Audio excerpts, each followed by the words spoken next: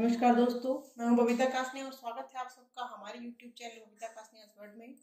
दोस्तों, आज हम बनाने वाले हैं सूजी का एक बहुत ही हेल्दी और टेस्टी नाश्ता। आज हम सूजी के अप्पे बनाने वाले हैं तो चलिए वीडियो शुरू करते हैं।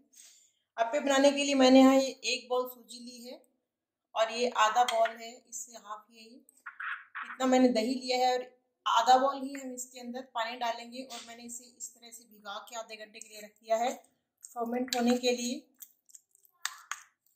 अब इससे आप पंद्रह बीस मिनट भी फर्मेंट होने के लिए रख सकते हैं। अगर आप इसे ज़्यादा फूली हुई पे बनाना चाहते हैं तो आप इसे पूरी रात तक भिगो कर भी रख सकते हैं।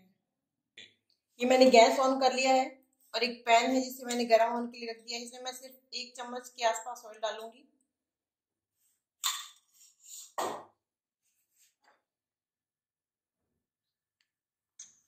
ये मैंने एक प्याज लिया है, कटा हुआ।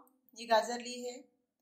और ये मटर ली है, ये धनिया और करी पत्ता काट के मैंने रखे हैं। आप इसके अंदर चाहे तो शिमला मिर्च ऐड कर सकते हैं, बीन्स ऐड कर सकते हैं।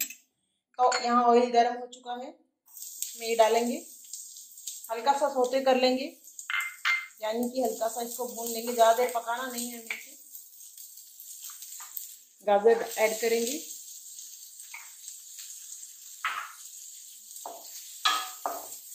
बहुत ही टेस्टी बहुत ही हेल्दी और बहुत ही कम ऑयल से बनने वाला ये नाश्ता है। एक बार इसे ज़रूर बना के ट्राई कीजिएगा अब इसमें मटर ऐड कर रही हूँ मैं। इन्हें भी पूरा नहीं पकाएँगे हम। अब हम गैस को बंद कर देंगे और सब्जियों को दो मिनट के ठंडा होने के लिए रख देंगे। और ये सूजी लेंगे, इसमें मैं ऐड कर रही हूँ ये धनिया और करी पत्ते जो मैंने पहले काट के रखे हुए हैं। थोड़ा सा मिर्ची ऐड कर रही हूँ, लाल मिर्ची। हरी मिर्ची मैंने पहले इसमें डाल दी है सब्जियों में तो ये कम यूज़ करूँगी। आप अपने टेस्ट के अकॉर्डिंग हरी मिर्च, लाल मिर्च और नमक को ऐड कर सकते हैं। अभी सब्ज़ियाँ मैं इस बैटर में ऐड कर रही हूँ।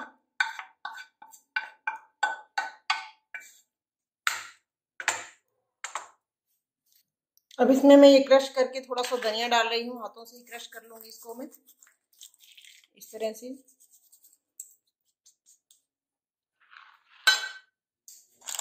अब इस बैटर में मैं ये आधा चम्मच के आसपास बेकिंग सोडा है, जिसे डालूँगी।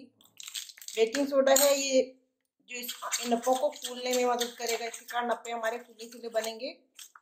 इसको मिक्स कर लेंगे हम। और मैंने ये अपा स्टैंड है जिसे गैस पे रख दिया है और इसके अंदर मैं बिल्कुल थोड़ा थोड़ा ऑयल डालूँगी। देखिए, बिल्कुल दो तीन ड्रॉप के आसपास ऑयल डाल रही हूँ। ज़्यादा ऑयल नहीं डलेगा इसमें। ये सभी ये सांचे हैं, इनमें हम ऑयल डाल लेंगे। इसके बाद इसमें ऐड करूँगी मैं ये राई थोड़ी थोड़ी राई। ये हम इसका तड़का साथ में ही लगा रहे हैं। और इसके बाद डालूँगी ये बैटर फूल नहीं भरेंगे हम इसे। सिर्फ़ एक एक चम्मच ही डालेंगे, ऊपर से नहीं निकालेंगे, फिर ये फूलने के बाद ये पे बाहर निकल जाएँगे। ये देखिए, ये सबके अंदर मैंने इक्वली बैटर भर दिया है। अब इसे ढक कर रख देंगे हम और चार से पाँच मिनट तक सिम पे ही पकने देंगे। ये देखिए, इस तरह से हम इन सबको पलट देंगे।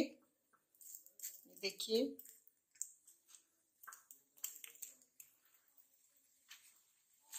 कितने खूबसूरत और क्रंची अप्पे बन के तैयार होंगे ये। और खाने में भी बहुत ज़्यादा टेस्टी नॉन स्टिक होता है ये अप्पा स्टैंड तो इसमें आप बिना ऑयल के भी इसे बना सकते हैं। अगर आप ऑयल नहीं खाना चाहते तो इसे बिना ऑयल के भी बना सकते हैं। ऐसे हम सारे अप्पे बना लेंगे। ये देखिए, हमारे टेस्टी और हेल्दी अप्पे तैयार हैं आप सबके लिए। तो आप भी इसे ज़रूर ट्राई कीजिए। ये बहुत ही हेल्दी और टेस्टी नाश्ता बनता है। अपने फैमिली के लिए, अपने फ्रेंड्स के लिए बनाइए। और मेरी वीडियोज़ को शेयर कीजिए। चैनल को सब्सक्राइब कीजिए। वीडियोज़ को लाइक कीजिए। शेयर कीजिए। कमेंट कीजिए। चलिए मिलते हैं अगली रेसिपी के साथ। धन्यवाद।